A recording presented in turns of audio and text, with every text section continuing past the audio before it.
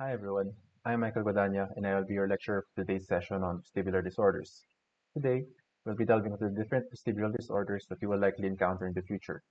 This includes their common clinical course and how they will affect your interactions with the patient. This includes things such as whether or not to discontinue the session and or modify the session plan. Before we begin, I would first like to acknowledge and thank Sir Christopher Keiko for creating and developing this module that we will be using today.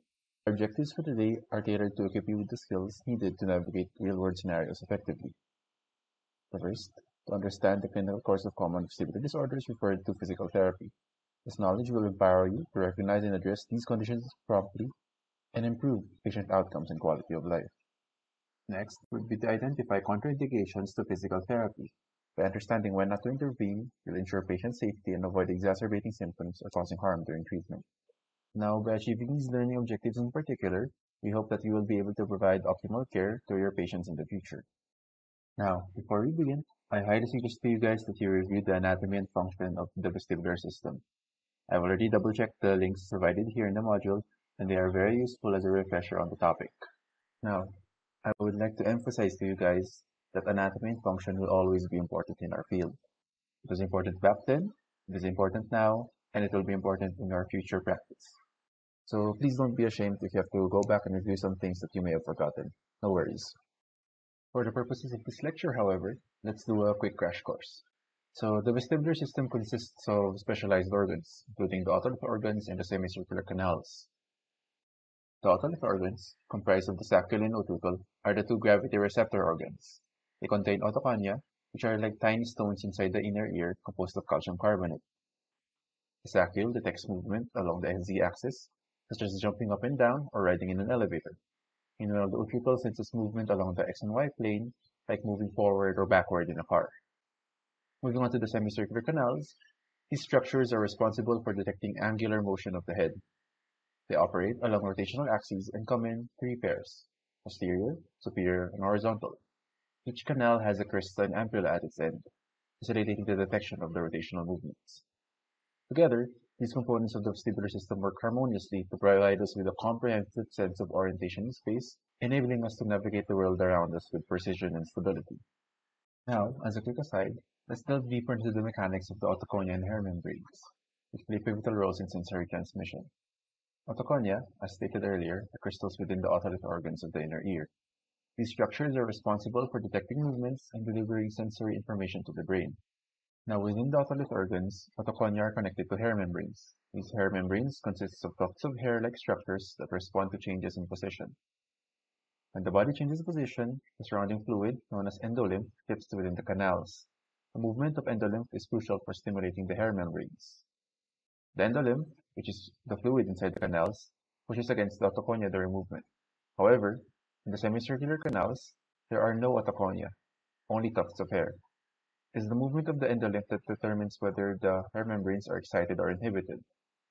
Now, taking a closer look at the hair membranes, you'll find a long piece of hair fiber with, structures called stereocilia and kinocilia. When the movement of the endolymph pushes towards the kinocilium, it sends excitatory signals.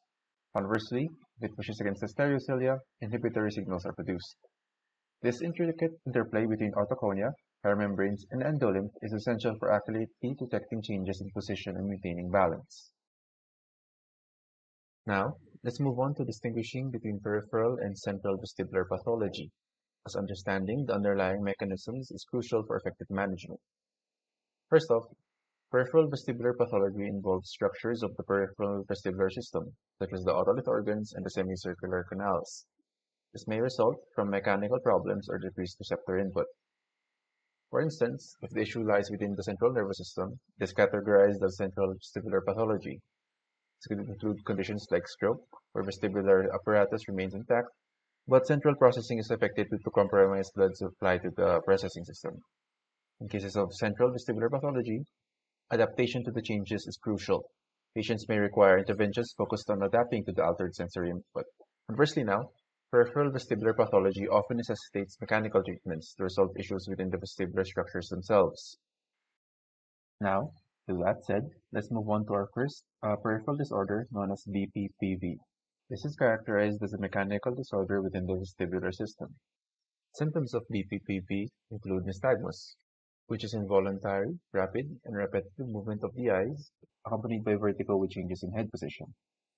Nausea, often accompanied by vomiting during episodes of vertigo, and disequilibrium leading to a loss of balance and potential falls. It is important to be aware of these kinds of symptoms ahead of time because uh, nausea and disequilibrium could lead to difficulties in handling a patient session.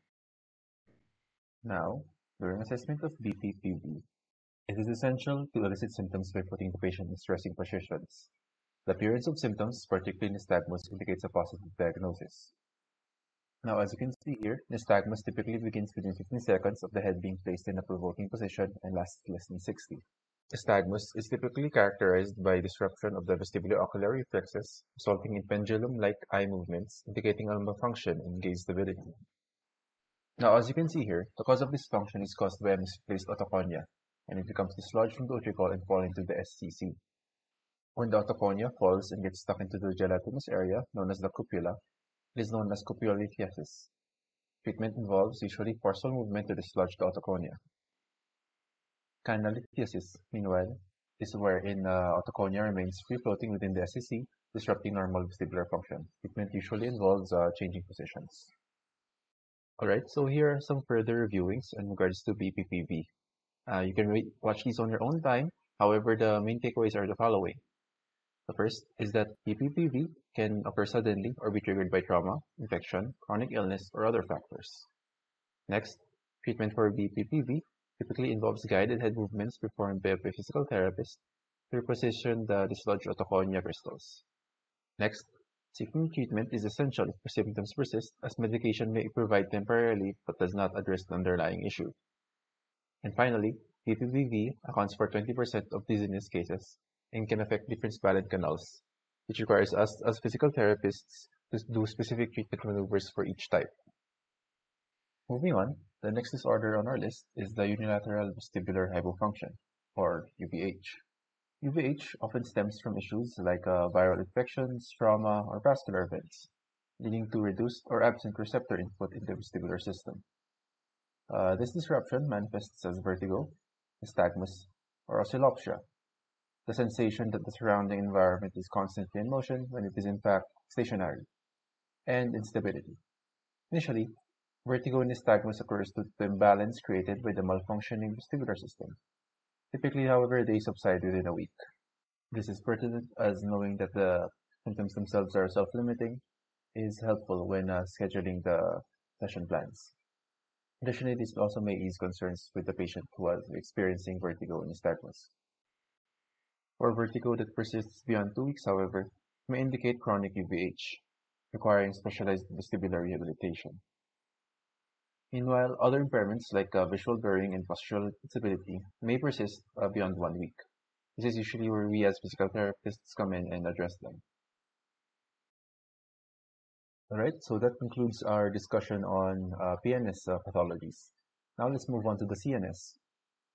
So the CNS pathologies encompasses various conditions, often linked to disruptions in the critical CNS components. Uh, most well known is the different types of stroke, like ICA, PICA, the vertebral artery stroke, which usually lead to significant vestibular symptoms. Additionally, uh, this can also occur in uh, motor vehicle accidents. It is essential to consider vertebrobasilar insufficiency, as visual dysfunction, drop attacks, and unsteadiness are indicative signs. Uh, vestibular symptoms may also manifest in cases of TBI or demyelinating diseases like multiple sclerosis, further emphasizing the diverse origins of the CNS pathologies.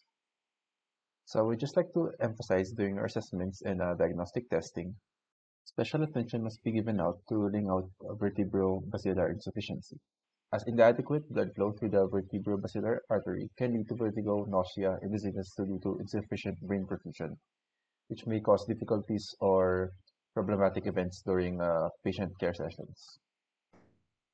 Alright, so here is a table comparing the CNS versus uh, PNS uh, vestibular pathologies. Um, please take your time to uh, pause and uh, look over the table if you need some time to read over it.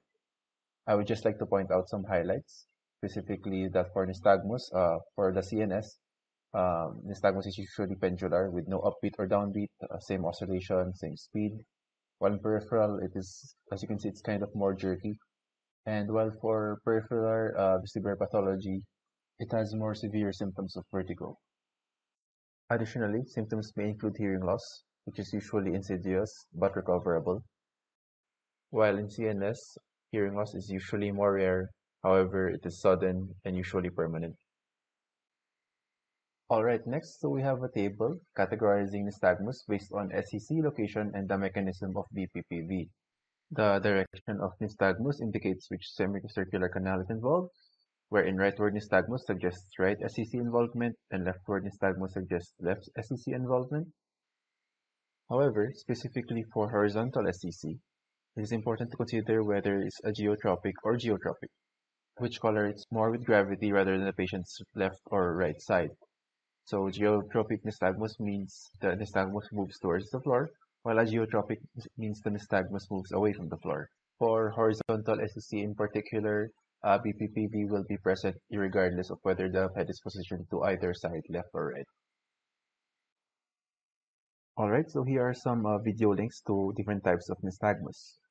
Upward nystagmus is for upward uh, fast-paced eye movements, downbeat is for downward uh, eye movements, and geotropic nystagmus is when the eye movements is influenced by gravity, rather than, let's say, the patient's left or right. So now let's discuss other diagnoses involving the vestibular system. The first being Meniere's disease. So Meniere's disease presents with a constellation of symptoms, as seen here in the PowerPoint. And during these episodes, symptoms can intensify and last for several hours, making vestibular rehabilitation contraindicated. Patients may experience dizziness, nausea, and earfulness due to membrane expansion, along with potential hearing loss resulting from the cochlear compression due to the increase in endolymphatic fluid, leading to distension of membranous tissues. Meniere's disease itself is uh, incurable, however it still can be managed, specifically by preventing fluid buildup. This is commonly done by doctors through the use of diuretics, commonly used for hypertension. It aids in reducing fluid buildup by increasing urination. This mechanism helps manage Meniere's disease by decreasing endolymph volume and alleviating symptoms. So once endolymph volume decreases and the other symptoms are alleviated, that is when we as physical therapists can come in and treat the patient. Alright, so moving on to our next condition, we have perilymphatic fistula, which arises from the rupture of the membranes that separate our middle and inner ear. It is usually characterized by symptoms like vertigo and hearing loss, which often causes it to, be, to resemble vestibular dysfunction. However, perilymphatic fistula is characterized by perilymph leakage and is often accompanied by pain, necessitating caution with interventions. For most of the clinical course of the disease, physical therapy will be contraindicated until postoperative clearance is obtained. Once medically cleared, however, we, as physical therapists, can play a vital role in addressing vestibular hypofunction.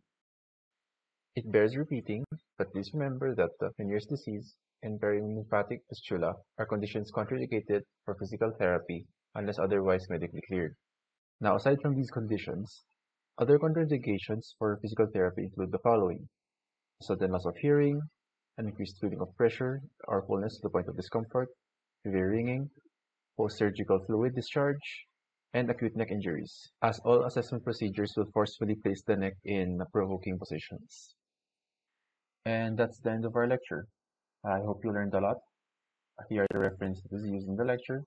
And please stay tuned for the next one. It will be about assessment and management of vestibular conditions.